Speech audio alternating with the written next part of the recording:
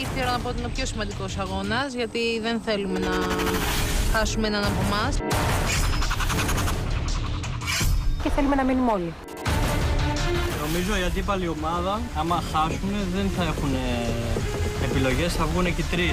Περιθώρια έχουν στενέψει και για τις δύο ομάδες, ειδικά για τους αντίπαλους. Όλοι μας σκεφτόμαστε το ενδεχόμενο να φύγει ένας από τους τρεις, γιατί δεν μας αρέσει καθόλου σαν σενάριο. Θα κάνουμε ό,τι μπορούμε να το αποφύγουμε. Ξέρετε ήδη ότι διανύουμε τις ε, τελευταίες εβδομάδες. Η ασυλία λοιπόν είναι το πιο σημαντικό έπαθλο από όλα τα υπόλοιπα, όπως λέτε κι εσείς οι ίδιοι. Κάτω βάρος, αυτό! Βγαίνετε! Γρήγορα πόδια!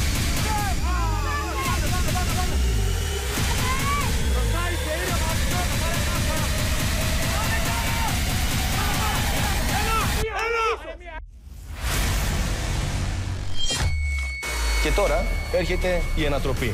Γιατί έχετε ήδη καταλάβει εδώ και τέσσερις μήνες ότι το Survivor είναι το παιχνίδι της ανατροπής.